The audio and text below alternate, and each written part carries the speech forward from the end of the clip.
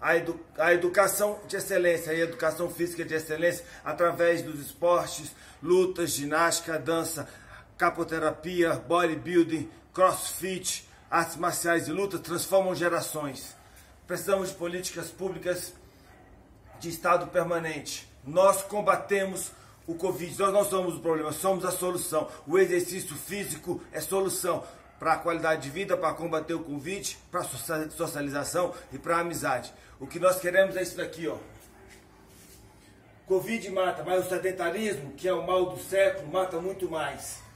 Academias não, é, não são diversão, são manutenção da saúde, deixa-nos cuidar da população. Academias de lutas abertas já, somos todos lutadores. Homenagem ao nosso presidente raiz, Jair Messias Bolsonaro, que também é professor de educação física, está junto com a gente. O que nós queremos mesmo para eliminar o problema no Brasil e no mundo é isso daqui, ó. SOS Forças Armadas com Bolsonaro no poder. Contra o comunismo que mata nosso, nossa população e nosso povo. Acorda Brasil, acorda povo, vamos malhar, precisamos trabalhar.